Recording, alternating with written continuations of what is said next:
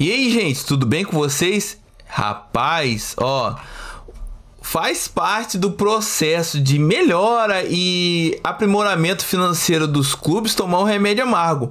Mas o Flamengo quase flertou com a Série B aí, quase que foi, aconteceu o primeiro rebaixamento aí e fazia parte do planejamento da, dos ex-dirigentes aí do Flamengo. Vem comigo para você entender tudo isso aí. É o seguinte, ó, o vice, ex-vice-presidente do de finanças do Flamengo, Cláudio Prakonic é, falou sobre o sucesso de reestruturação do clube e com a possibilidade de rebaixamento estava no radar.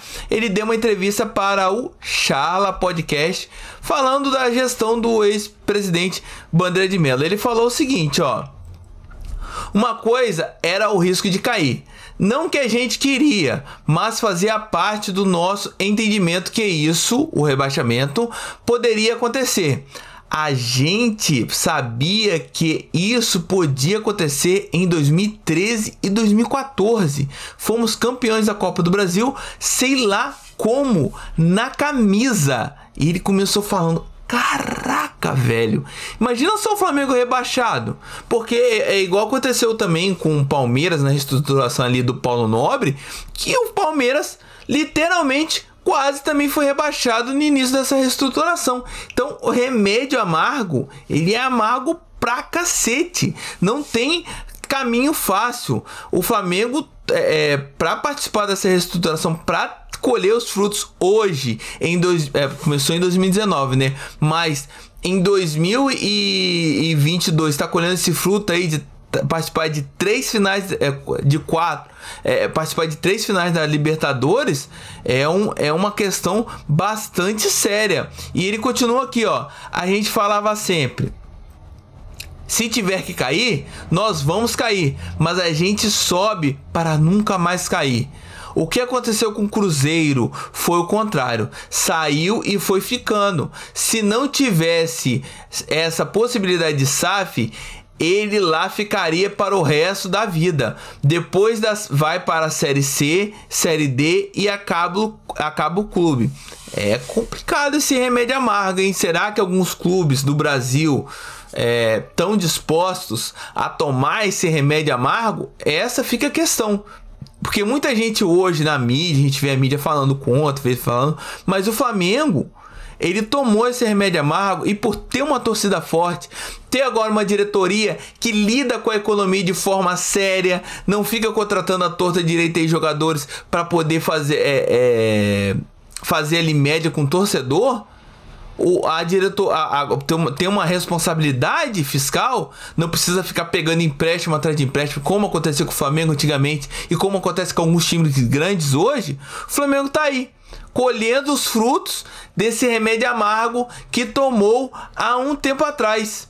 Aí ele fala aqui, ó, mesmo com a possibilidade de queda no radar, Cláudio Prakonic reforçou que o clube seguiu o planejamento e até superou as expectativas. Nós planejamos o Flamengo para 10 anos. Nós atingimos as metas em 6 por causa da grandeza do clube, quantidade de notícias e torcida e competência de todos, mas o fato é que contávamos com a possibilidade de rebaixamento e nada disso mudou nossa visão, exaltou. Então, se você tem um planejamento e dentro desse planejamento conta um fracasso, é muito justo. Eu acredito sim, é, a possibilidade, igual você tem que contar no planejamento, tá? Nosso planejamento sem títulos vai ser igual o Flamengo pode contar agora. Nosso planejamento sem títulos vai ser tanto.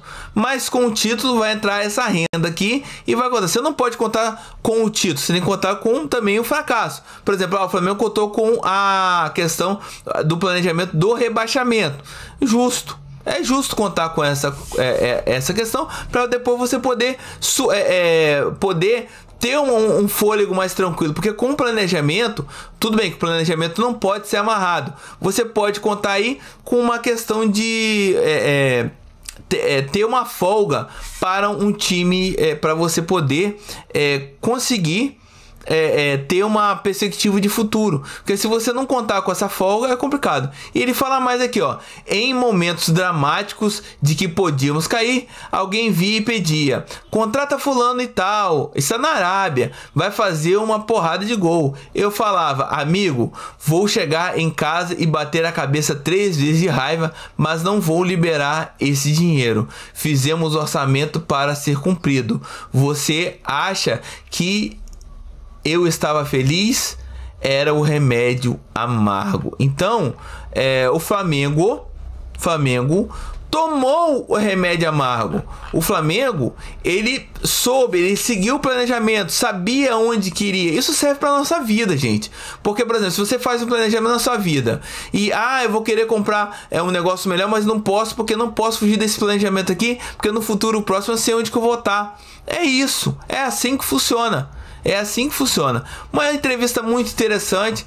Eu achei que o Flamengo é, é, uma entrevista muito boa, uma entrevista que é reveladora e mostra que alguns times no Brasil deveriam sim tomar esse remédio amargo, não deveriam depender de. Se não tomar esse remédio amargo agora, uma hora ou outra vai ter que tomar um remédio amargo, vai ter que seguir esse caminho duro que o Flamengo seguiu, o caminho de raiva, o caminho que não pode contratar, o caminho que vai ter que ficar ali com os mesmos jogadores ali tentando ali se manter na primeira divisão para poder mais para frente poder contratar, poder formar uma equipe melhor, uma equipe forte. E hoje o Flamengo está colhendo os frutos desse período aí ruim, esse período tenebroso, mas que tá trouxe frutos até agora. E vocês, vocês acham que algumas equipes no Brasil deveriam seguir esse planejamento? Vocês acham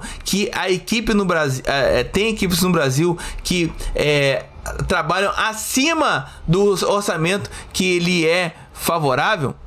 Não se esqueça de curtir, compartilhar e se inscrever no canal, porque falar de finanças é super importante para quem curte futebol, porque isso é de interesse sim do torcedor saber como o time está fazendo, é, gerindo ali, porque aí no futuro próximo você vai saber se seu time está bem. Se o Palmeiras, se o Flamengo e o Palmeiras estão aí bem, é porque tomaram esse remédio amargo.